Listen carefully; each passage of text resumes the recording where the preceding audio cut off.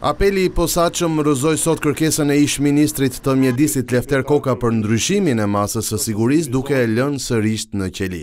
Ndonëse mbrojtja pretendoi se Koka është në gjendje të rënduar shëndetësore, togat e zeza vendosën të mos i japin ish-ministrit një masë më të butë sigurie. Për pasojë, Koka do të vazhdojë të qëndrojë në burg në pritje të mbylljes së hetimeve. Ai akuzohet për korrupsion me inceneratorin e Fierit, për të cilin edhe ka marrë masën e arrestit me burg. Por së fundmi ai është akuzuar nga SPAK edhe për inceneratorin e Elbasanit.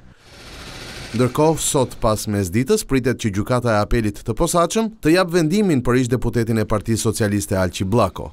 Prokuroria ka kërkuar për të një masë të dytë sigurie për inceneratorin e Elbasanit krahas asaj ekzistuese të arrestit me burg për djegësin e Fierit.